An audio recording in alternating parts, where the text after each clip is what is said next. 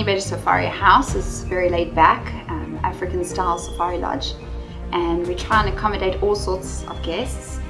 We also like to accommodate our guests within the house with safaris um, into the Kruger National Park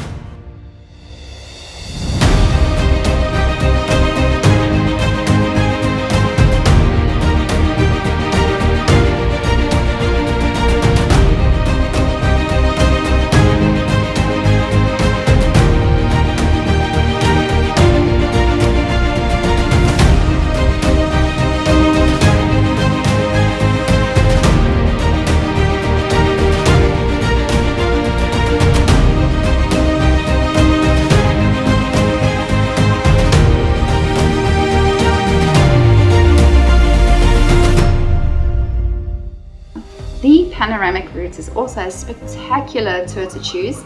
We book you in-house. There are walks and waterfalls, as well as a spectacular Blyde River Canyon. We also offer Swaziland cultural tour. This uh, includes a Swazi cultural dance and singing.